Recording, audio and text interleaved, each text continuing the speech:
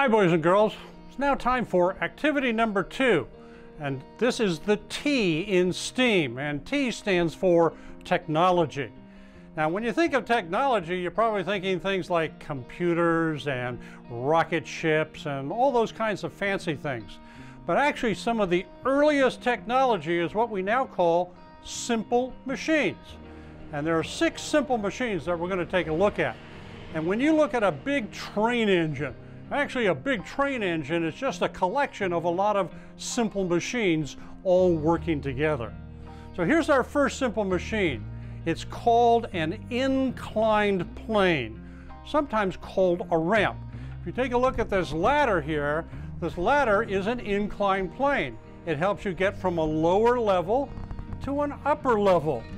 When you go up a set of stairs, you are going up an inclined plane, like the stairs that help you get into the train. You're going up an inclined plane. That's our first simple machine. Another example of a lever is a handcart. And a handcart is used by people who are repairing the railroad tracks.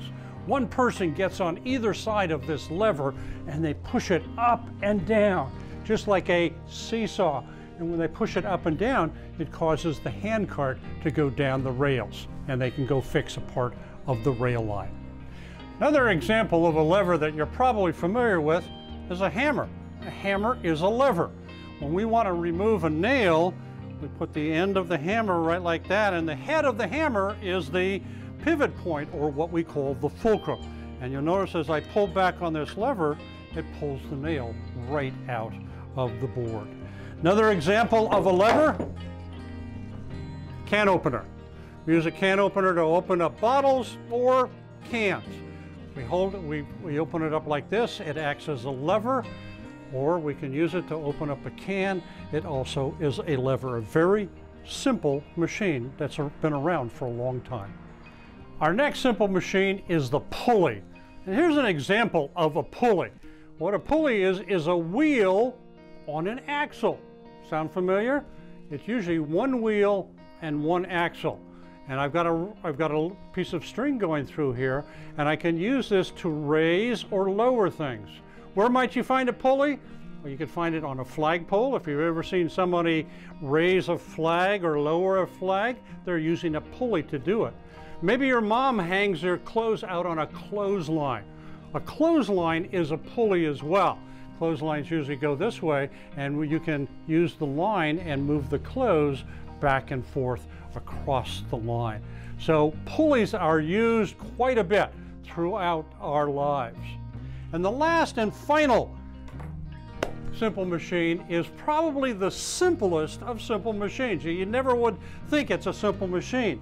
It's called a screw. And a screw has is another one of those simple machines that's been used for many, many years. And we use screws all the time. How about when we want to bolt some things together? If you look around your house, you'll probably find there's lots of bolts. And you're just taking a bolt on here and it goes on this screw, goes like that. How about a light bulb? Okay, you take a light bulb and you screw it into the socket like this and there's another example of a screw. Or how about when you want to open a bottle? You want to open a bottle or a jar? You're using a screw just like this.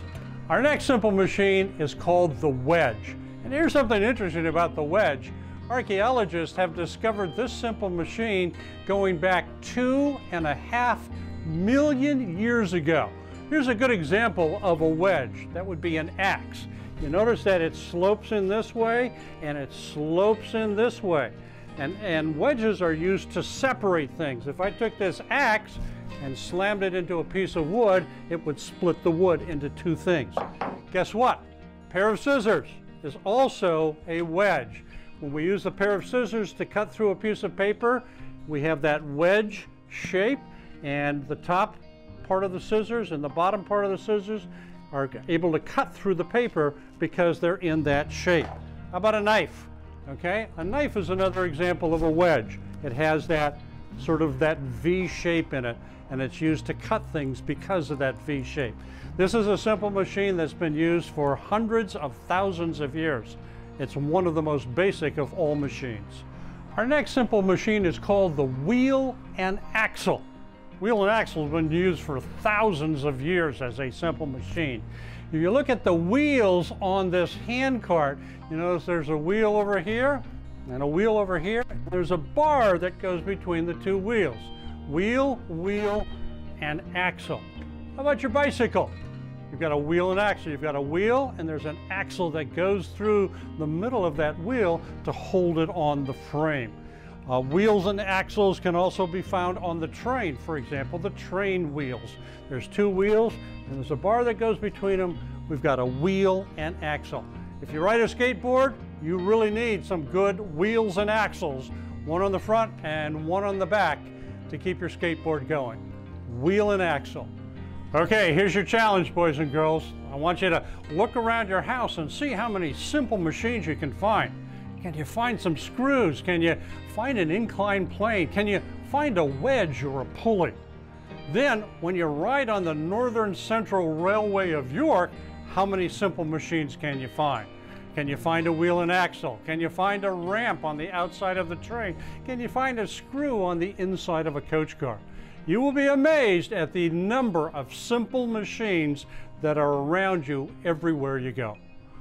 Hang tight, we're getting ready for the next activity.